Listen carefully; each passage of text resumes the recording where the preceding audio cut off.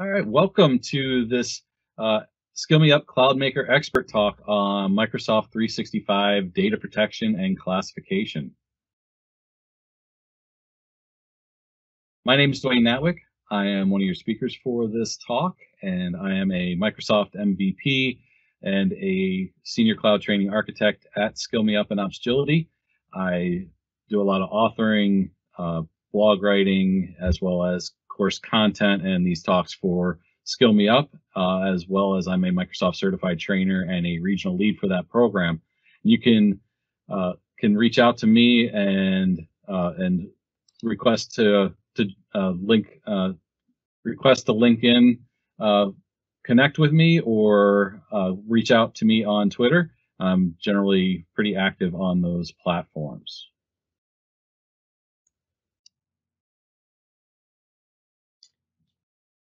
And I'm Liam Cleary. Um, I work for myself now. I am also a Microsoft MVP, but specifically in Office servers and services, which it's now called. It used to be just SharePoint, which was much easier. Um, and I'm also a Microsoft certified trainer. Uh, you can reach out to me at my web, which is shareplicity.com, or my blog site. I'm known as Hello, it's Liam. That's my name. A quick two second one that came from me answering the phone I would answer the phone and say, hello, it's Liam. And so that's my brand that I now have. So feel free to reach out to me, Twitter, Facebook, LinkedIn, etc. All right, Liam, why don't you talk about what we're going to discuss today? Yeah, so today we thought we'd focus on some of the challenges, uh, especially which is more apt around where we are now with remote working and kind of some of the issues that we face and then kind of flow into some of the protective capabilities that we have in Microsoft 365 that can kind of help us. Because of course when we're working at home just like in the organization one of our biggest issues or risks has been data dissemination leaving the organization etc and so we'll focus on data loss prevention and we'll talk about how those policies can protect the users and the organization.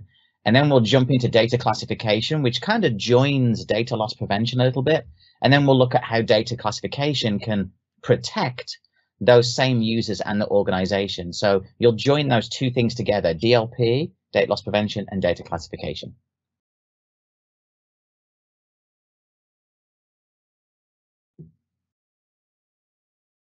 All right. So like Liam said, you know, the important thing before we really jump into data protection and classification, it's important to understand some of the challenges within the remote remote user environment that pertain to those areas. So let's let's dive into that first. So as as many of you listening to this probably are, you know know that you know become the remote work has become really important uh, for businesses really to remain viable in 2020. But besides the need and the requirements that have been brought on by uh, by the global pandemic that's been taking place this year, uh, there are many factors that make workforce mobility an intriguing option to both the organization and, and to the user environment.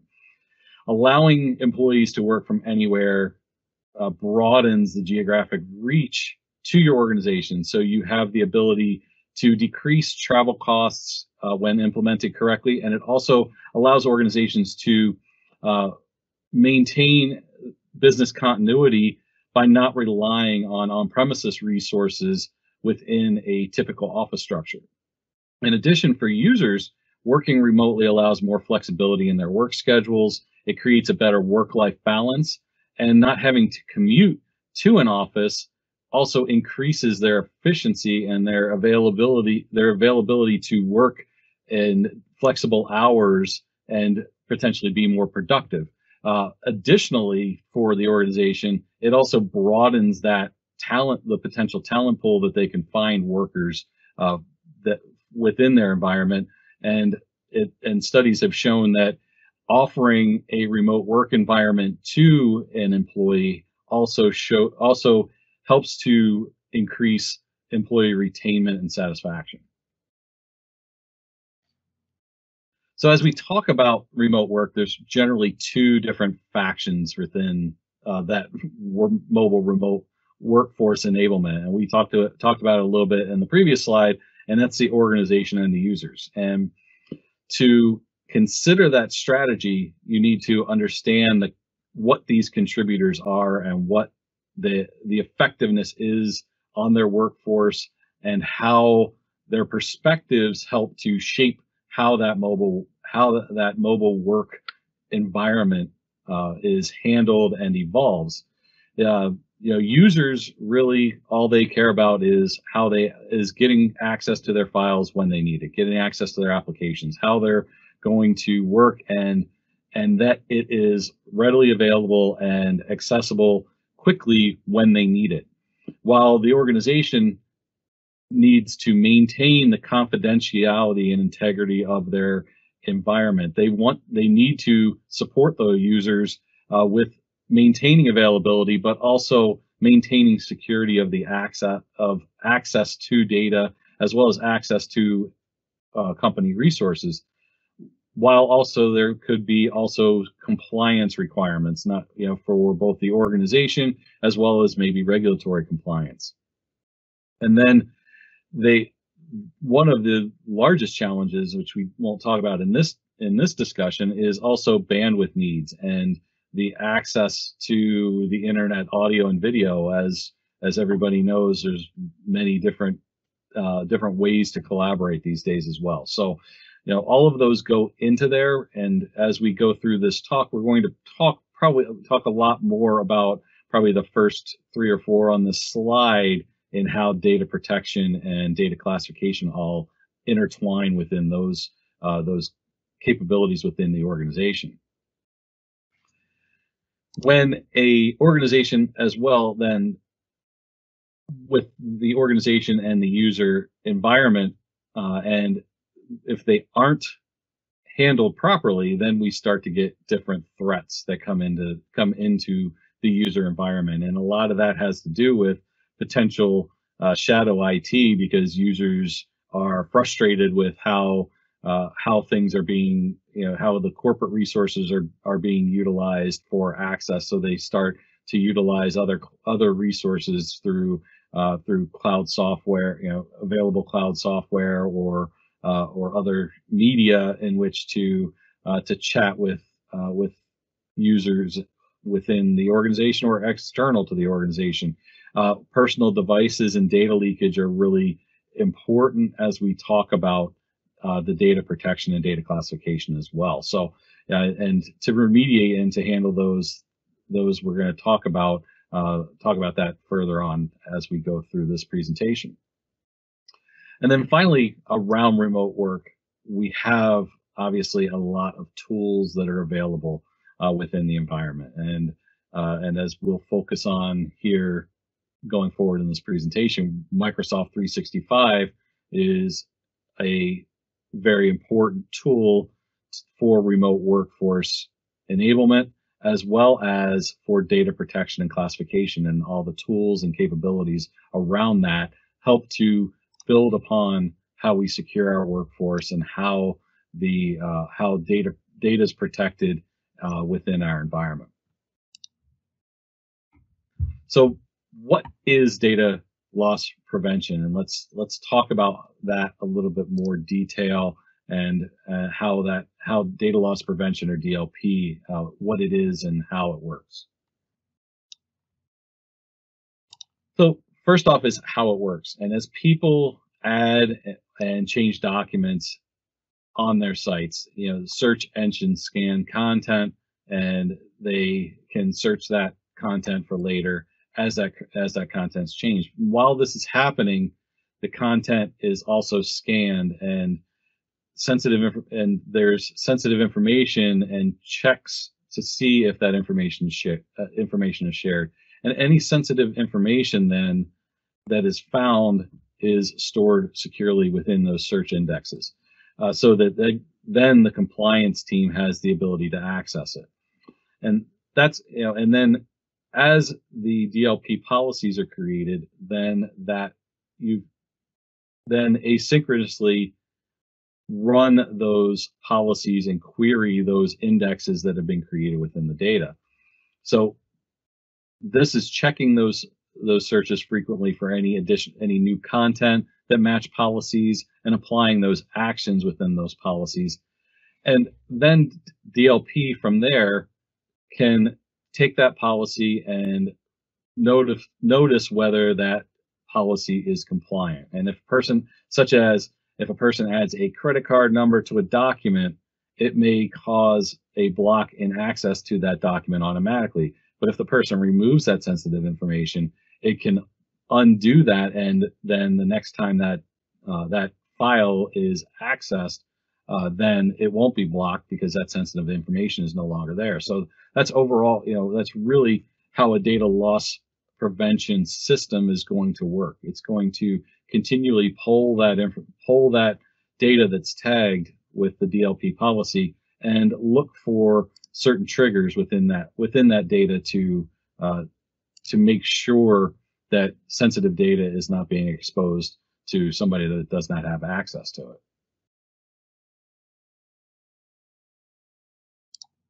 So what can data loss prevention do? Uh, so the key things here is uh, is that it identifies that sensitive information across the many locations and you know key you know key Microsoft 365 services that it does this on is you know Exchange Online, SharePoint Online, OneDrive for Business, Microsoft Teams to name uh, to name a few, and those are the key ones that obviously most of uh, organizations are sharing that information. And they're all very tightly wound together in how uh, in how files are shared. You know, if you're sharing something in Teams or uh, you know, it's it's very tied very closely to SharePoint Online. Same with OneDrive for Business. You know, it all has that same uh, similar back end technology that it's utilizing within the SharePoint environment. So it's uh, you know identifying all that information. It's preventing then the accidental sharing of that sensitive information. So you can identify any document or email uh, as uh, that it that contains, say, uh, personal identify identifiable health health information, and don't allow that information to be shared outside of the organization or shared to people and block access to that for certain people that don't have access to it within your own organization. From there, it continues to monitor and protect that sensitive information uh, within not just those online versions of Exchange, SharePoint, OneDrive, or Teams. It can also uh, it can also integrate with the other office productivity tools like Excel, PowerPoint, and Word, and apply those DLP policies to continuously modern throughout the entire Office and Microsoft 365 infrastructure. One of the key things around that is it also then helps to uh, helps the user and helps them to uh, to become educated on what information not to put into documents and and what not to share. And they start and it helps the, the policies help to enforce if something is accidentally share, shared but they can also then uh, the users also hopefully start to learn and and get educated through the certain help uh, help compliant help uh, notifications within a within DLP where it's going to trigger a you know hey you're about to share something that's sensitive. How are you you know do you want to do that or not? And it helps to then continue to to educate users on how to properly handle data.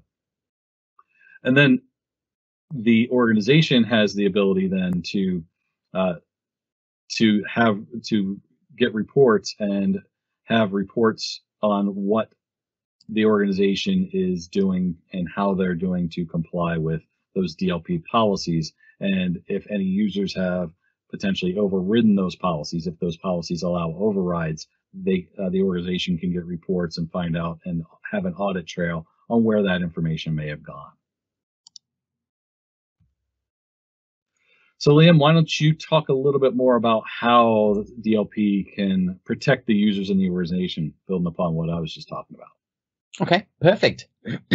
so, obviously, it's great to know how DLP works, and obviously, it flows through constant checking of the data that's been updated and things like that. But what can we actually do with it? I mean, it's great that we have DLP policies, but a DLP policy itself contains a couple of basic things.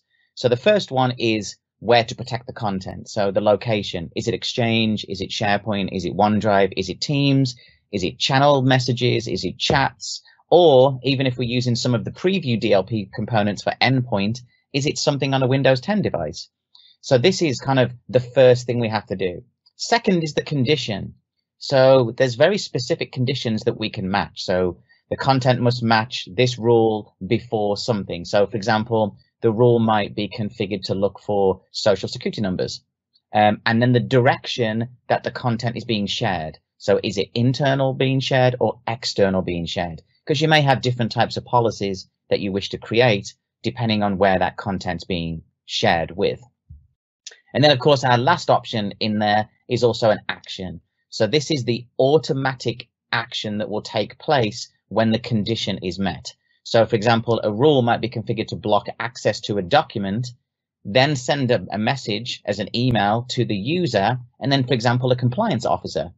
So we also have other actions that we can utilize as well. But those two pieces, the condition and the action, are the actual rule for the data loss prevention policy. Now, what we can do when we create data loss prevention policies is have more than one type of rule. So we create this kind of general location. So we create the policy and then we specify a location. And so the location, for example, could be anything. It could be any of SharePoint, OneDrive. It could be all of them. It doesn't really make a difference. But then we can have very specific rules that match different types of content. So, for example, if you need to comply with specific regulation. So, for example, you may have a policy that detects the presence of HIPAA information, so health insurance information. This policy could then protect HIPAA data across SharePoint and OneDrive and then perform specific actions. But you could also have another rule that would be looking for other types of content, other types of sensitive information. And then they become different rules and are grouped inside that policy. What we can then do outside of that is when we're looking at the locations, we obviously have very specific places that we can look. So, for example, Planner's not really one of them, but Exchange email is one of the first locations. Uh, then, of course, we have SharePoint Online, which is all of the SharePoint sites and site collections and subsites. Then the OneDrive accounts that we can go through as well. And then, of course, we have Teams, chats, and channels. Now, for example, if you choose to include specifics or exclude specific. And what that means is that when we go into the configuration for location, I can say, go and look through all the SharePoint sites except this one, or go through all of the OneDrive locations except this one. Now, a DLP policy can contain no more than 50 inclusions and exclusions. So the way it's kind of built in the wizard is you'll select the option and it selects all the ones for you. But if you choose to include and exclude, then you'll need to kind of rein that back in and not just try and kind of drop things in and out. Now, what we can also do outside of that is we can focus on the condition. So the condition focuses specifically on the content. So, for example, uh, the type of sensitive information you're looking for, and then the context of that. So, who is it being shared with? So, for example, in the content for for the contains, we can group specific properties and keywords. So, think of a Word document. A Word document may have an author, it'll have a date, it'll have the location it was saved, and maybe it has some value that you've associated to it. We can nest those values together to do a very specific type of query. We can also utilize sensitive information types, which are built in by Microsoft. And there's a couple of third party vendors that create them too. But these are predefined regex patterns, algorithms, XML definitions, dictionary keywords that look for things, for example, like a driving license. You know, no, so for example, I'm in Virginia, so it's going to look for DMV, Virginia, driving license, and all these different keywords. And those can be put into the contains. And then, of course, you can manually type values. Then, of course, when it comes to the direction of the content being shared, because really that's what we're trying to protect here. We're trying to protect the data that shouldn't leave the organization. And so we get two core options available to us. One is to only with people inside the organization. and then of course with people outside the organization. Now, when you're defining these types of policies, you're going to carefully craft which direction you want these to apply. Do you really care that the finance department is sharing data with human resources? Does it really matter? Well, probably not. But is somebody in finance trying to share it with a third party vendor that it shouldn't go to? Well, yes, that's where that data loss prevention policy comes in.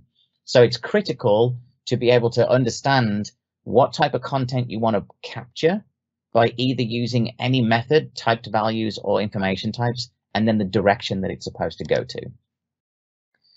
Now, when we come to the next part of the rule, there's a difference between uh, if you're doing this, for example, in the older Security and Compliance Center versus the new one. So, and we will look at that shortly. So the common action is to restrict access or encrypt the content. So that tends to be the, the most common feature that we enable as an action. So what that means is an end user tries to share something in SharePoint, it gets captured by DLP. DLP literally just changes the icon of the image and blocks access to the content. Now, depending on your need, you can restrict access to the content in three specific ways. So we have restrict access to content for everyone, or restrict access to content for people outside the organization, or if you happen to be using the anyone link, so that's based around external sharing in the tenant. So if you said anybody can get links, then of course we can restrict and block access at that point. So for site content, this means that the permissions for the document are restricted for everyone except the primary site collection administrator, the document owner, and then the last person that modified that. These people can then come back in. So me as the owner, I could come in and remove the sensitive information from the document, or I could go through the process of like unchecking and saying, no, it's okay. When the access to a document is blocked, the document appears with a special policy tip. So one of the things Dwayne talked about was user education. And this is one of the things that you do with a DLP policy is provide a mechanism where an end user can get a message that says, hey, this is why you can't do something with that. Instead of just hiding it from them, it kind of allows them to learn from there. Now, of course, if you're using email, then of course the actions are a little bit different. So for example, we have remove or set headers. So we can remove or set the headers within an email. And then if we happen to be using the preview data loss prevention policies for endpoint protection, uh, which we're not going to focus on, um, that will allow you to audit or restrict activities on the devices that have been connecting to it. So from a high level data loss prevention process, we're able to not only block the content, restrict access to the content, stop it from leaving, we can also then restrict it being utilized on a Windows device if we've chosen that.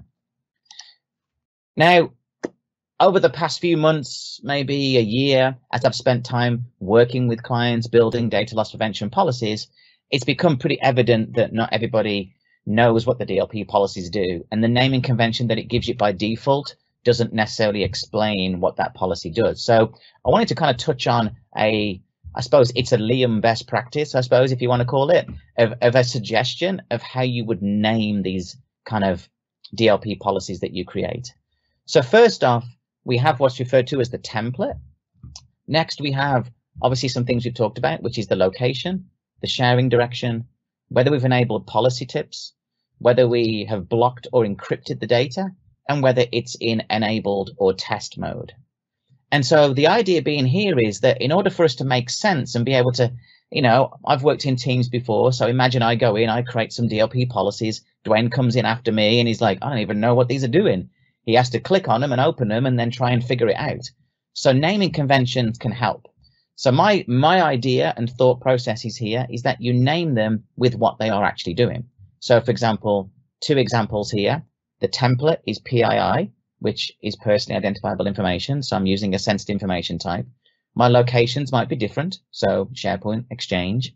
I'm checking for the sharing direction, which is external to the organization. I'm then either showing or hiding policy tips. I'm either blocking or encrypting. If it's Exchange, I'm always encrypting. If it's SharePoint, I'm not encrypting, I'm blocking. And then I have the option of whether it's in test or whether it's enabled. So just as an example, you would end up with a policy that would be PII dash SharePoint dash external dash show dash block dash testing. And then Dwayne could look at it and go, I know what that does now. instead of it just saying credit card numbers because you don't actually know what credit card numbers is doing until you get into it. So it may sound like a silly thing, but trust me, it's much easier and it, at least it makes my life easier. So as long as it makes me happy, then I'm okay with that.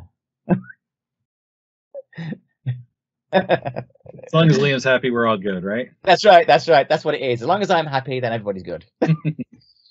um, so there are three locations and places for creating data loss preventions. In actual fact, you'll find the links all over the place. It's a little bit confusing at the moment still. I might as well be honest. I'm sure Dwayne goes with me on this one that when you go into the admin tenant, which we will in a minute, it, uh, if you click a link, it goes here. It might go there. It could change tomorrow. We're not quite sure where it's going to go. But the, the three big buckets are Security and Compliance Center.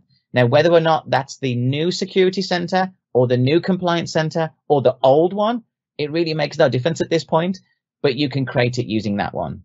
Um, then there's the it's, new compliance. It's just, it's just Microsoft 365 roulette. That's all. That's right. That's right. It's like you spin the wheel and then go, what have I got today? Like I've got a brand new tenant that I'm using right now and for whatever reason, it still goes to the old security and compliance center. But if you click the compliance link, it goes to the new one. So who knows? Maybe it'll change. I don't know. But I mean, as they're as they're adjusting it and changing it, we should get consistency across the board. Hopefully, I'm crossing my fingers for that at least. Yep. Um, and then of course the last one, I'm I'm a trusty PowerShell person. I, I like writing things in PowerShell, and so these are the three core options that we've got. So let's have a look at how we can create some data loss preventions. Sounds good. So let me just share here and make sure I've got my right screen. Uh, screen two, screen three. Okay, let me just make sure that shows up.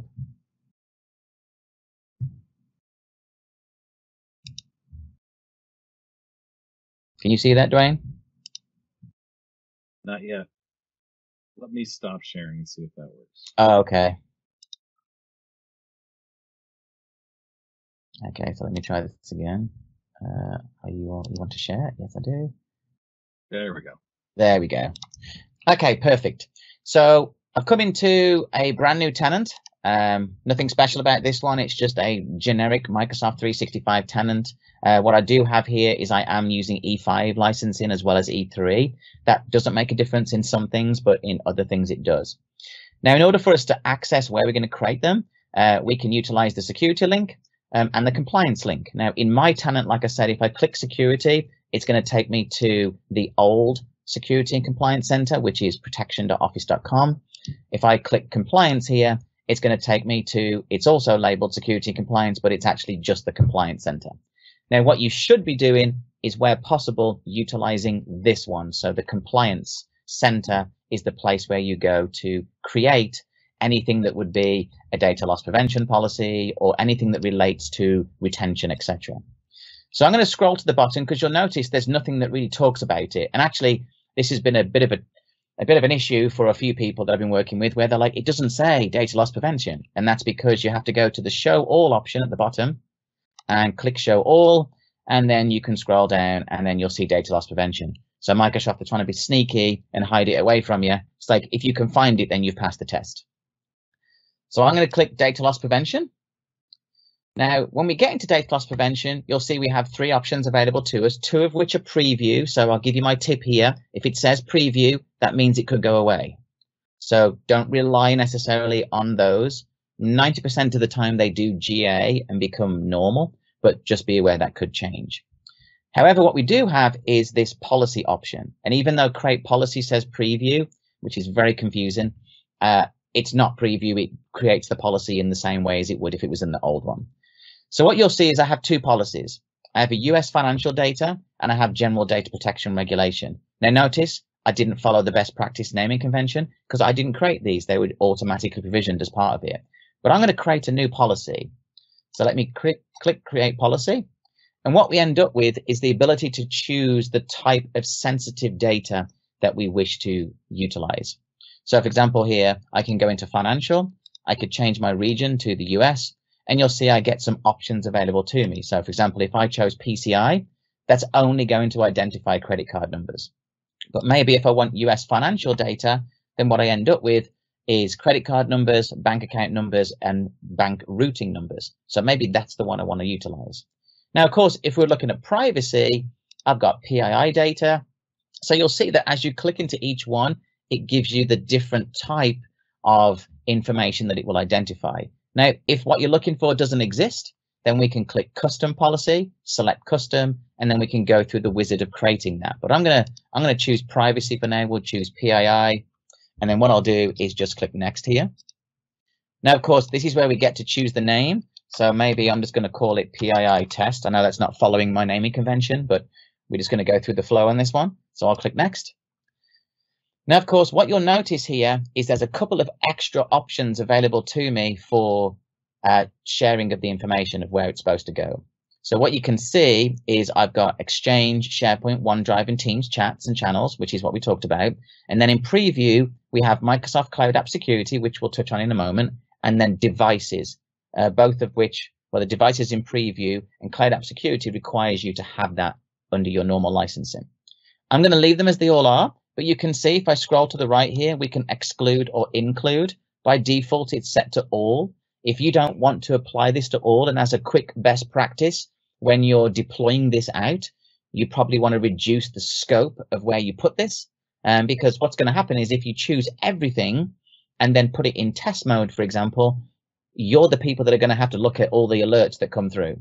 So maybe isolate sections. I mean, in all fairness, let's be honest. If you work in IT or you're in charge of something like this, you'll know which groups in the business are the ones that are probably sharing data that they shouldn't do. So maybe isolate it down to that group. Now, what we get here is the ability to review and customize and say, okay, I just want to leave it as is. Or what we can do, which is really powerful here, is customize those rules. Now, remember what we talked about in a rule. You have a location, and then you have conditions, and then you have actions. So what happens now is there's always two rules that get generated by a policy. You get the low volume and the high volume. What that means is, is if we look at the low volume, you'll see some kind of base information that says this is looking for this, this is going to people outside, and this is what's going to happen, notify users. If I go the high one, you can see we get some restrict access, block, etc. So depending on whether it's a low number of identified data versus a high number. So an example of this would be somebody pastes a credit card number in a Word document, that's one instance. But if somebody pastes 20 credit card numbers in a Word document, that would come under the high. So if I wanted to modify the high, for example, I can click here on the edit, and then we're able to expand the rule. Now, I'm not going to go through and change this, but you'll see we can modify the accuracy level of what it finds. By default, all of the Microsoft ones sit between 75 and 85% accuracy, which does sometimes bring false positives. And then we have instance counts. So you'll see because this is the high rule that there's it's looking for 10 instances or higher. Whereas if I come back out of this one and go to the low one, you'll see it's looking for one to nine. So you can craft this and have it do different actions based on the quantity. You know, if Joe Bloggs in the organization shares one thing with a credit card number in, maybe we don't want to cause massive problems. We just want to restrict and let them know. But if someone's doing 50 or 60, then we want to do something severe. So of course we choose the direction like we talked about. So this is people outside the organization. And of course, when I'm building this, I can obviously add more conditions when I'm in edit. I have exceptions and then I have actions. Now you'll notice we get some extra ones come in now as well. We get restrict access to the content. We've got the Windows devices one, and then we've got third party applications if we happen to be using that. So if I choose restrict access, I'm going to say only with people outside the organization, and I'm going to block access and sharing. I then get to determine what goes in that notification. So I can say notify these people.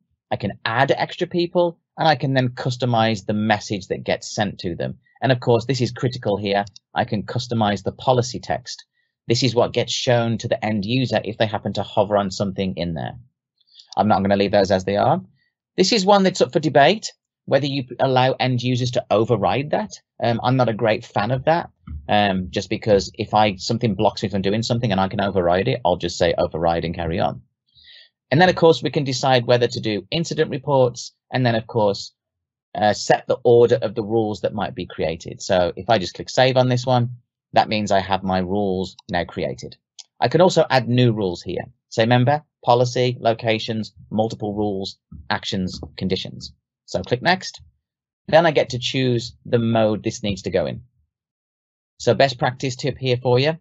When you do it for the first time, put it like this. I'd like to test it out first. It's not going to block anything. It's not going to tell the users anything. It's going to literally populate the reports so that you can then at least see what's going on and look for the false positives.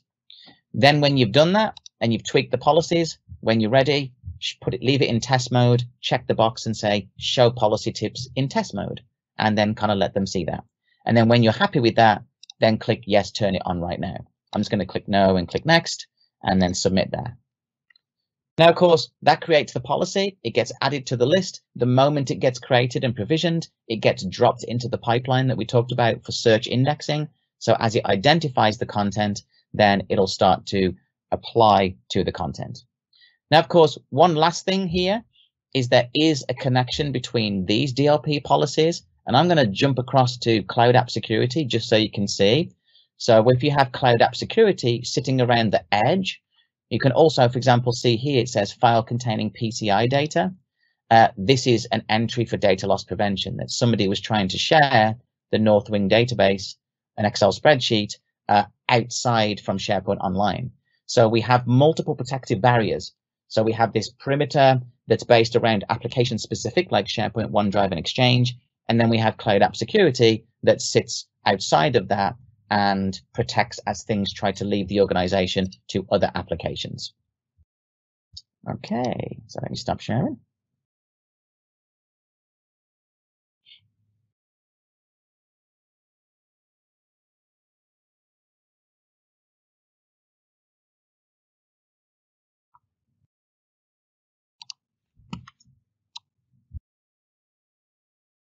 Okay.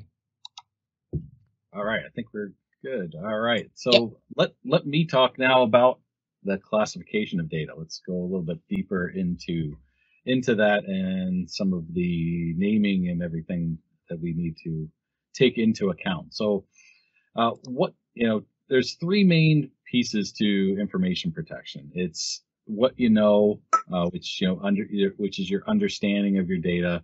You know, the knowing the landscape and uh, identifying the importance of the content and where the where the that content is located as as Liam had mentioned location is a key point. And identifying then who accesses that content and where. So it's so a really important piece to uh, to data data protection and data classification is is the organization actually knowing their data. If they don't know their data DLP and data classification isn't going to work. It's not going to protect your data if they don't know what they have. So that's really important. And then once you know your data, then you can protect your data. You can apply those protection actions, those policies, uh, you know, if necessary, enforce encryption, uh, apply restrictions to access, utilize visual markings like uh, confidential and watermarks within your data as well to notify the people accessing that data that you know what the importance is of that data so that everybody is educated and knows the importance of the data as well as then preventing and preventing you know prevention in terms of making sure that data is not shared that in that sensitive information isn't shared like liam was uh, pointing out with the uh, with the credit card numbers you know notifying uh, and preventing, you know, uh, lists of credit card numbers from being shared in a document, and you know, utilizing then how you know that data loss prevention and uh, and endpoint uh, at both the the document level as well as the endpoint level to uh, to prevent the sharing of that data. So let's go a little bit deeper in, into these three areas. And first, obviously, is knowing that data. So knowing those sensitive information types, identifying that, you know, the sensitive data and what it, you know, using, you know, built in, uh, built in policies, built in, uh, you know, the built in metadata and search capabilities within uh, within Microsoft 365 and you know just within the character recognition and document recognition that is built into many of the many of those tools and to understand to find those information. You know there's there's a typical uh, typical structure to a credit card or to a social security number and many of those uh, many of those sensitive uh, information types of prof- uh, personal identifiable information. So you know so that can be recognized and that can be you know can be those built-in capabilities can be used to draw out that information. And then you know you you know having you know the keywords and the confidence levels and the proximity you know and understanding uh, how that uh, you know what that information is and and knowing that it's drawing that right information is important to know and to test. Uh, like liam was saying when you put a policy in place it's good to test and just see what it's gathering uh, before you actually implement it so that there aren't false positives. And then you can tweak it and make sure that that information that that it is drawing the correct information based on the file formats that your organization is utilizing. And again you know the trainable classifiers you know uh, utilizing again how that information is uh, is classified and using that information to train and understand what files and what locations those that information may be uh, may be getting pulled from and allow and then continuing to adapt and uh, and structure your policies and classifications based on those based on what's being found within the environment and i and think finally, it goes one step further as well dwayne yeah. on the trainable classifiers so what's interesting is every organization I've ever spoke to has custom content that doesn't match the Microsoft mm-hmm. list mm-hmm. of stuff. So, for example, a statement of work or an invoice or something else. And so, what's nice here, which is really only a, a fairly new thing, is that we can take a copy of, you know, for example, an invoice, throw it into the classifier. It can train from a location. So, for example, like a, a SharePoint document library of invoices, we can go and train what it is and then it will then at that point start to recognize custom content that we've never been able to do before. Like it never existed. And so now we have mm-hmm. that flexibility, especially with like things like SharePoint Syntex and Project Cortex that Microsoft have. Like it, that's actually really good now because it means that stuff that you wouldn't necessarily been able to block, we can now block. Right. Yeah, and that yeah, that's a really good point because yeah, organizations have their own legal templates and things like yeah. that that aren't that aren't uh, that may not be standard standard fare for within the Microsoft environment. So yes, having having those documents and being able to train those documents is very important. And then you know identifying them and creating those sen- sensitivity labels and retention labels to classify all of that information within the organization, and then utilize the actions that users are taking on them and notify you know and and noticing how users are using that information is important to uh, to building to continuing to build those classifications and those policies. So understanding how uh, you know what users are u- utilizing that for, so that so that we have the proper workflow of that information, and we're not blocking an important workflow because you know based on you know that that's what the user needs and and what data needs to flow uh, within that uh, within the organization. Mm-hmm. And then uh, and then the protection of of that data is obviously very important, and there's multiple ways to protect. Uh, we're we're focusing a lot. Uh, you know, in a moment we'll talk a lot about the the sensitive, you know, the sensitivity labels, but there's also, you know, as we've talked about, encrypting of the data. Um, you know, using using you know a unified labeling scanner, uh, utilizing services such as right management, uh, rights management connector, and how you know how all of these protection services kind of work together. You know, you can based on a sensitivity label make sure that that data is encrypted and like we were talking about the DLP policies and requiring any emails with sensitive data to to also be encrypted or always encrypting emails if you're working in a particular uh, particular department within an organization. So doing all those things and taking all of those into account are very important to uh, to protecting your data. But like I said, the knowing your data at the forefront is of the utmost importance because if you don't know what you what your data is and what your data what might be sensitive on your data, there you know you're not going to protect it properly. And then we'll talk about a little bit here, here about the the a little bit deeper on the prevention side, and we mentioned data loss prevention, and then there's also endpoint data loss prevention. So, you know, the data loss prevention of the applications and the cloud applications like SharePoint Online, Exchange, Teams, and preventing the sharing of that content, as we talked about uh, and uh, Liam showed in the demo. Uh, but then there's also that endpoint data loss prevention as well. So how uh, are we utilizing capabilities within a Windows 10 uh, environment and how that information is used then on that device and protected on that device in case uh, that uh, that device becomes compromised from that you know, from a particular user and making sure that that data does not get exposed from there.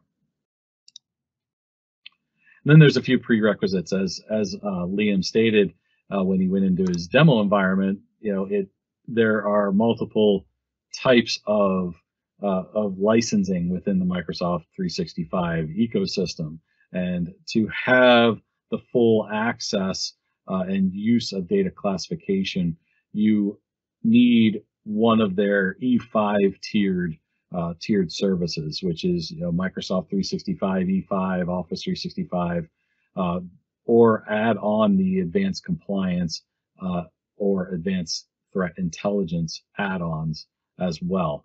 Uh, so making sure that you have those proper uh, those proper licenses to if you want to utilize and take uh, take advantage of data classification and utilizing sensitivity labels and sensitivity policies, you may need to make sure that you have these proper licenses. And if you don't, you need to look at upgrading and utilize those capabilities. I'd like to always recommend if you're an enterprise, you should have an E5 level license. There's no reason not to because of everything that you have and you require uh, within your organization for security and protection. Uh, E5 is is the way to go. Uh, and then the uh, account you must have the account to be able to create these roles and roles groups must be one of one of four uh, assigned uh, assigned administrative roles, either global administrator, a compliance administrator, security administrator, or a compliance data administrator. So you need to take those into account as well.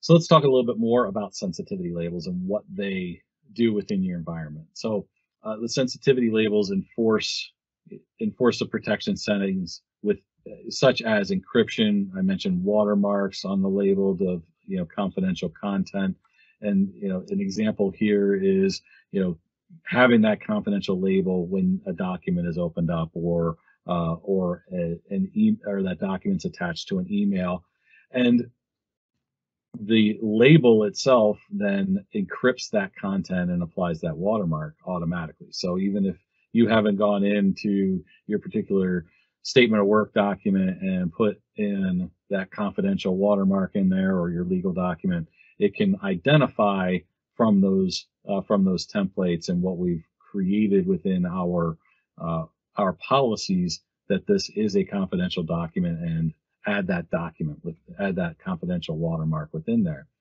Uh, you can again also protect content in Office apps across different platforms and devices as well. So utilizing utilizing the power of the 365 ecosystem and all of the productivity apps and taking and utilizing those sensitivity labels across those apps, across third-party apps and cloud services. Uh, Liam mentioned the cloud, you know, utilizing cloud app security.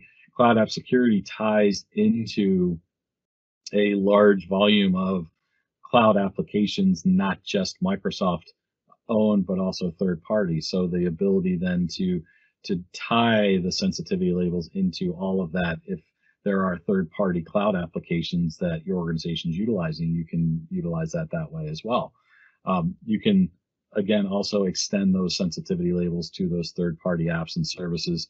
um, utilizing the information protection SDKs and you and applying those protection settings then to those uh, to those third party apps and then finally being able to classify content without uh, using any protection settings. You can simply assign classification to that content that persists with that content uh, when it's used or shared. So you don't need to necessarily have uh, that protection uh, that protection policy in place, you have you have tied that to that uh, and tied that classification to that particular document, and then you can follow that document, see usage reports on that document, and also um, you know choose to apply additional protection settings later on.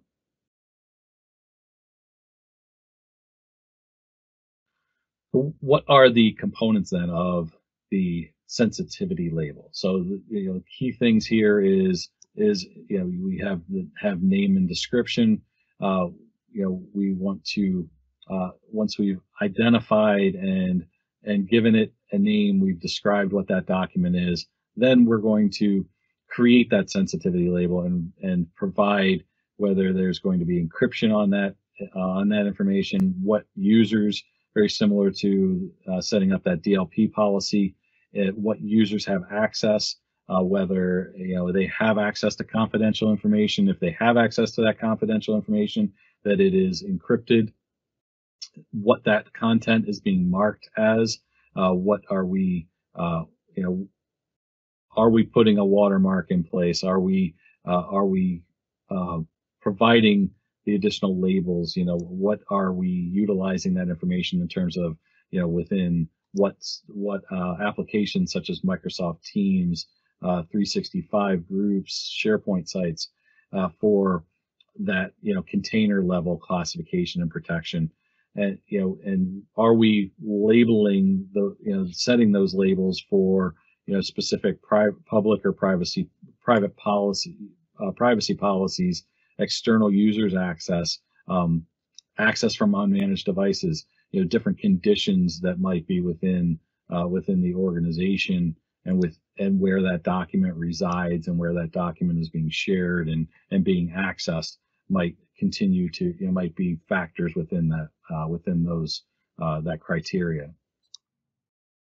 Um, and then if we have on top of that then any auto auto labeling and we can generate those and label that uh, those uh, sensitivity labels automatically based on the templates we've we've created or automatically notifying and recognizing the uh, the type of data that is on that on those documents to uh, to label those documents as confidential to again apply how that do- how that document is going to be handled in terms of encryption and and being marked uh, based on those auto labeling configurations.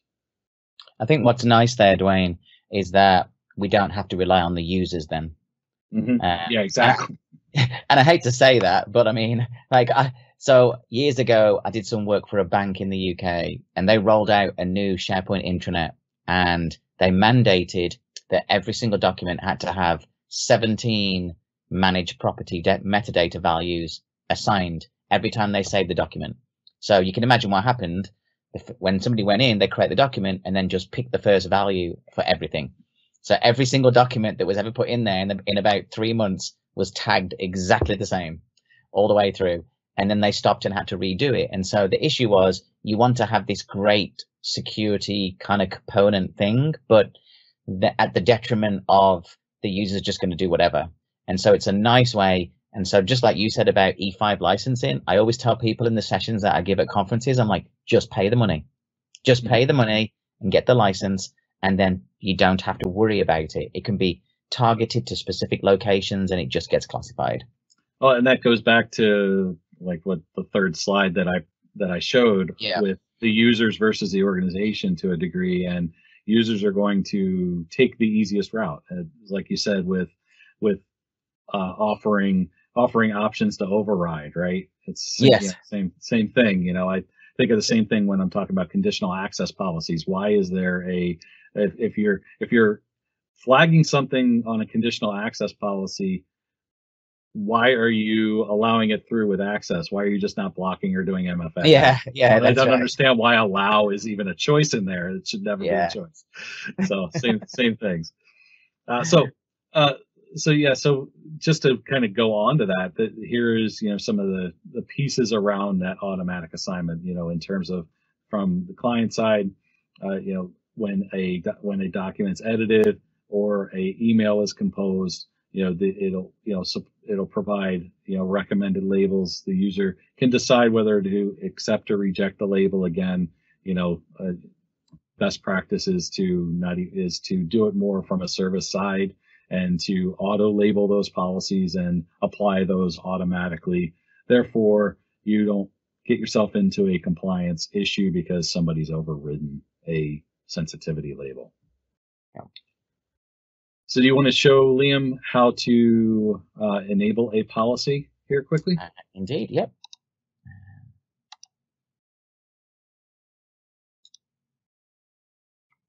Okay, um, it says I'm sharing. Go ahead and initiate it again. Okay. Oh, there we go. It has an extra box that pops up. Yep. okay, perfect. So I'm back in my data loss prevention again, but this time I'm going to scroll down to the bottom here and I'm going to go to information protection, which is an option that's hidden, remember. Information protection will then take me into what's called uh, labels and label policies. Now, out of the box in my environment, I have a couple of odd ones here. So confidential and highly confidential. I particularly like the one called Project Falcon. I think that sounds amazing. Um, but what we have here is the ability to create a label and then we create a label policy. What we're actually creating when we choose a label is a sensitivity label. So this is a label that we can apply, just as Dwayne talked about, to specific content. So I'm going to come into here and I'll just call this uh, test label. What I then have is a message that I can uh, display to users and then also a message that can go to admins. Now, of course, you would obviously write a better message than test label message. I'm going to choose next. Now we get to choose where it gets associated to. Now you can see that we've got files and emails and groups and sites. Now this is a new change that came recently where it was all together and now they're able to change that and say, I want to associate it to, for example, just groups, which we're talking about Office 365 groups, which is the precursor to Microsoft Teams. And then, of course, we've got SharePoint sites. Now, that's checked by default because obviously that's one of the things that we want to do. There is some extra steps to enable that if it's not been done in the tenant. I'm not going to go through and do this yet, but there is an extra step that just says enable for documents and uh, in groups and sites. But I'm going to say files and emails, choose next. I then get to choose what the protection settings would be. So let's say a Word document.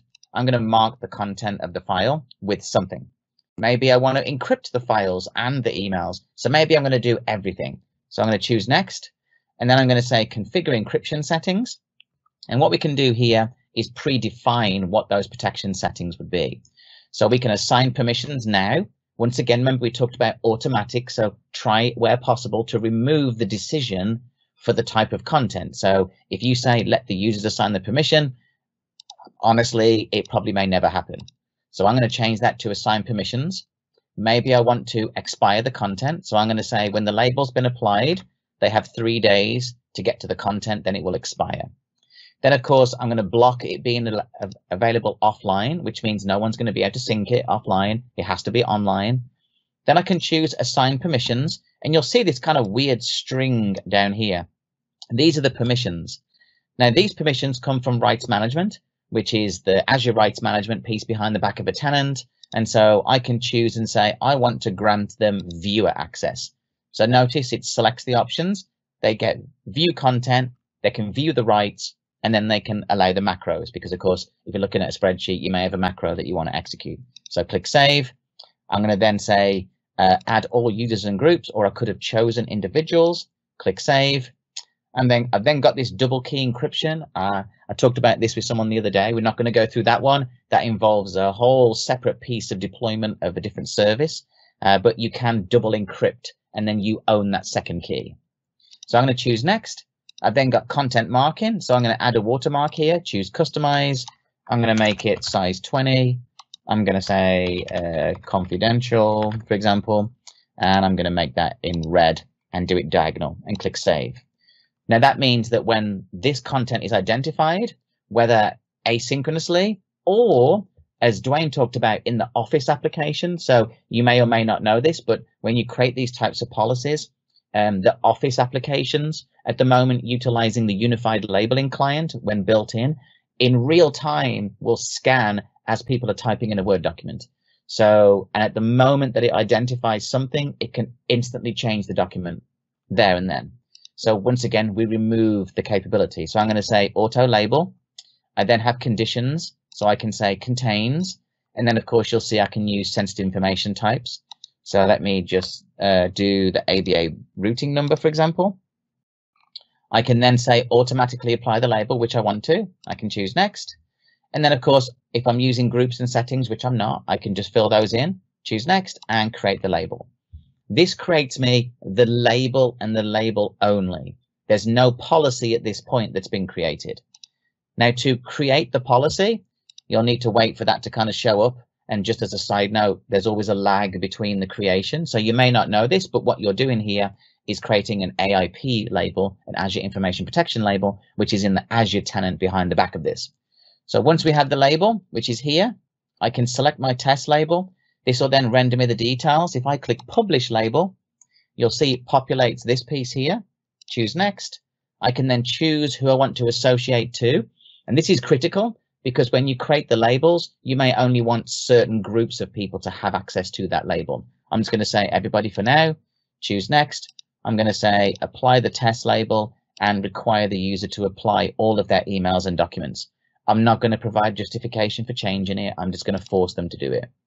And then I'm going to call this one test label policy, put that into here, choose next and submit. At that point, the label is now visible. And where is it visible? Here, SharePoint Online, OneDrive for Business, Microsoft Teams, Outlook Online, Outlook Client, Word Client. It surfaces itself in all those different locations. So that's as simple as it is to create a sensitivity label.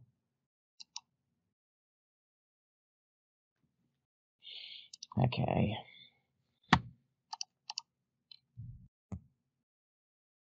Okay, so how can data classification protect? We talk about DLP of how that protects, and we kind of saw that. But from a data classification perspective, it's a little bit different. So firstly, if we look at data classification policies, what we end up with is that policies can be applied to content locations and content. So a little bit different here. We can say apply it to this Word document or apply it to this SharePoint document library. And the end user doesn't need to determine the policy or the labeling that's used. So automatic classification can eliminate what we talked about a few moments ago about users just randomly picking stuff that doesn't make any sense. Uh, policies follow the content no matter where they go, and this is great. So uh, think of the use case here. Someone puts a document, they tag it, and then they're like, well, I want to take that somewhere else. They put it on a USB stick and run home and put it in their Linux machine and then try to open it, and the document calls home and it doesn't work because it has the protections applied to it. And uh, I did this years ago in a early incarnation of rights management for a shipping company in Greece, believe it or not.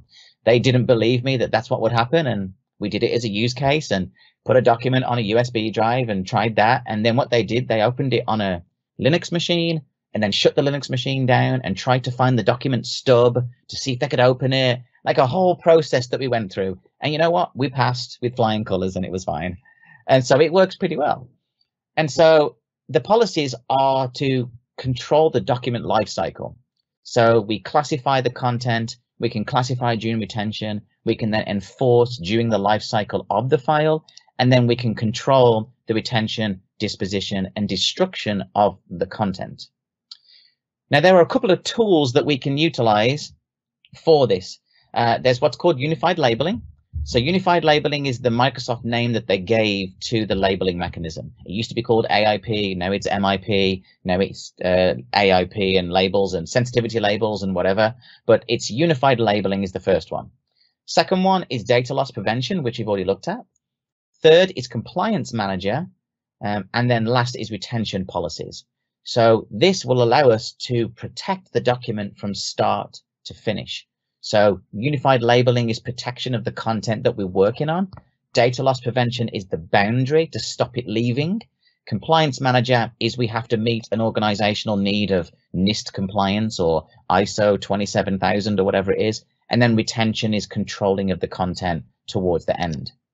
Now, when we talk about compliance tools, there are really two compliance options available to us. The first one is Compliance Manager, and Compliance Manager is a workflow based tool. Microsoft built this, made it available in the Service Trust portal, or now available directly in the Compliance Center. This allows you to manage regulatory and compliance activities. So, for example, I worked with a, a client of mine recently. They're looking at being NIST compliant. Of course, you know, Microsoft has these great articles that says Microsoft 365 is NIST compliant. It is, but your piece of it isn't. And that's the difficulty. You still need to go and enable specific things. Like, for example, I was involved in a, there was a data breach in 365, a health organization, uh, a vendor had been hacked and they stole credentials and hopped in. And it was an interesting conversation because I said, well, did you enable this? And they said, well, no. Microsoft said it was all secure. I'm like, it, it is. But if you didn't turn these things on, then we can't really help you because we can't we can't get an audit trail. We can't find out what's going on. So the compliance manager uses predefined templates, and then you can provide evidence for those compliance tasks. So if you you know accept the risk and don't provide something for multi-factor authentication, you provide documentation for that. Compliance score builds on that. This is your ongoing score. It's a pre, it's kind of the new version of what used to be there to begin, which was called Secure Score. Secure Score is your security posture score. Compliance Score is your compliance posture score. It's based on Microsoft did their bit. Did you do yours? And if you didn't, here's a whacking great list of all the things that you have to do now and how many points you'll get if you keep doing them. So it and displays. who you need to assign it to, and yes, that's right. start, that's start right. giving It's people like- work. yeah, because you look at it and you're like, how many things? Whoa, there's loads of things I have to do. You know, and it and it is, and it's like you look at the Microsoft score and it says fourteen thousand and six hundred and something out of fourteen thousand six hundred and something, and then your customer one is zero out of nine thousand, and you kind of sit there thinking, okay, I have lots to do, but it, but it, but it is, it lists all of the solutions, it lists best practices, and what's nice now is when you click into them, it'll take you directly to those locations so that you can then like action those things. And and like you said, Dwayne, assign them to individuals in the organization. I, I think I think it's a great. It it really brings to light what the responsibility is on the organization within the Yeah. environment. Like you said, you know, Microsoft promotes that they have all of these compliances and attestations. And I'm always telling organizations and talking to them that, yeah, okay, it's compliant. You know, if I move to Azure, I'm going to be HIPAA compliant. No, the infrastructure will be HIPAA compliant, but there's a lot of other things that you're going to have to put in place or Yes. and Microsoft enables a lot of that because you just need to turn on a service here and there, possibly. Yep. But Yep. there's a lot of things that have to be done from your responsibility standpoint to get there. That's right. I mean, if we take the things you've talked about, so data loss prevention, sensitivity labels, they get flagged in the compliance manager, but they don't tell you what you're supposed to put in. They'll say like, "Hey, here's some suggestions that we think you might want to do, but you know, it's your organization. Go ahead and do it," type thing. Yep. All right. Okay. So uh, let's let's let's wrap things up. Uh, we've been uh, going for a while now, so hope you know what we hope to have accomplished here uh, today is that we've you know gone through a lot of the challenges of the remote uh, the remote user environment and how we can uh, can address some of those challenges with uh, with data loss prevention and data classification and those and those things. You know, it's this as we said, there's a lot of pieces to the puzzle and a lot of things that have to be uh, addressed within your organization to protect your data, protect your users. And we do have some uh, upcoming uh, upcoming talks that kind of take that even a step further into some other services as well. So, uh, you know, so look uh, for our uh, you know some upcoming talks that I have with Liam as well as some other other Microsoft experts in the environment and how we, how all of this kind of comes together in terms of building your uh, Microsoft 365 and your uh, Azure and your uh, and your overall hybrid infrastructure to protect your data and classify your data and keep your uh, environment uh, secure and protected. So with that, we'll we'll drive that to uh, a close. And my name is Dwayne Natwick. And my name's Liam Cleary. So, like I said, catch you know the full episodes of cloudmaker cloud native and thinking cloudy expert talks are available on skillmeup.com as well as you can find a lot of them are being posted uh, now on the skill me up youtube channel so subscribe to that as well. Uh, the schedule for upcoming talks that uh, that myself and liam have as well as as well as other uh, other skill me up authors and experts are uh, available on skillmeup.com. And I want to thank everybody for listening in to this expert talk and have a great day.